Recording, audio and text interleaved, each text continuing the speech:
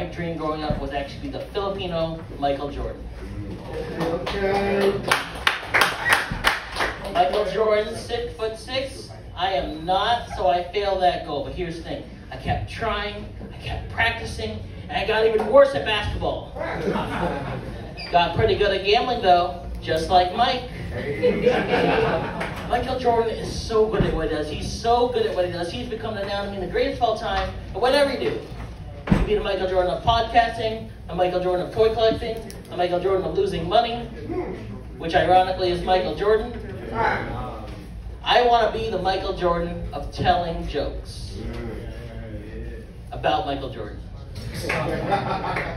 Like growing up, my favorite film was the original Space Jam. It's a perfect film. Other than the fact it has way too much R. Kelly in it. Film kicks off. Michael Jordan's playing basketball with a dad. R. Kelly song kicks in. I believe I can fly. I believe I can touch the sky. I think about it every night and day. I love doing that joke because it's the only time you're allowed to sing R. Kelly in public now. But I believe in, uh, you know, watching uh, all of our big Filipinos in Hollywood, and the new Space Jam had one of our biggest Filipinos in Hollywood, Daffy Duck.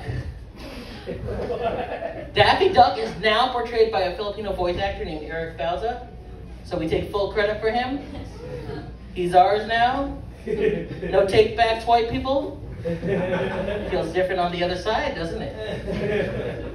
Like I believe in supporting all Filipinos. Like we have any Olivia Rodrigo fans in the audience. Usually a few. Just, you know, you, you don't you don't need to woo loudly. You can just sing to your, in your heart. You know, driver's license. Uh, you know, me and Olivia have so much in common. She's very pretty. I'm very pretty. She has a driver's license. I have a driver's license. She hates her ex-boyfriends. I really hate her ex-boyfriends. And uh, we're both Filipinos. She's one of those undercover Filipinos. We got a lot in Hollywood, like everyone know Dave Batista. Yeah, Drax Destroyer. Also Filipino. Now some people are surprised about that. I tell you have a little bit of surprise about that. I don't get why me and Dave look so alike. But you all think of Filipinos Day, I want you to think of Olivia Rodrigo, Dave Batista, and me, Jay Aquino. You got Vogue, GQ, Mad Libs. Like, I, I, think growing up as a Filipino American in America is hard. Um, I am a second generation Filipino American, which means that uh, my family's born in the Philippines, but I'm, uh, I'm born in America.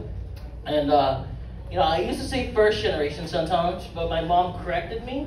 My mom's right. My mom worked as a nurse for 30 years so I could be right here on this stage in America.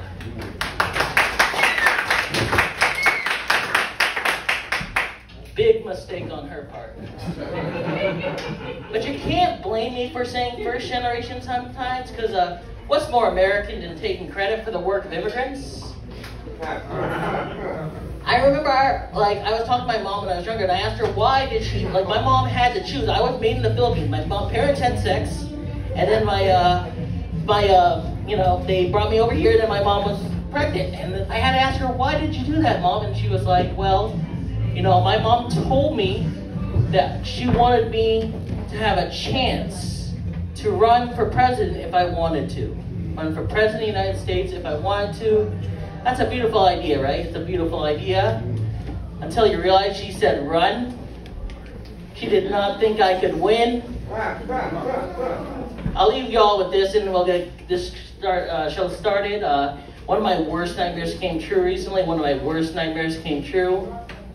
I uh, put my joke book on top of my car, and I parked my car in a neighborhood I should have never parked in. My neighborhood.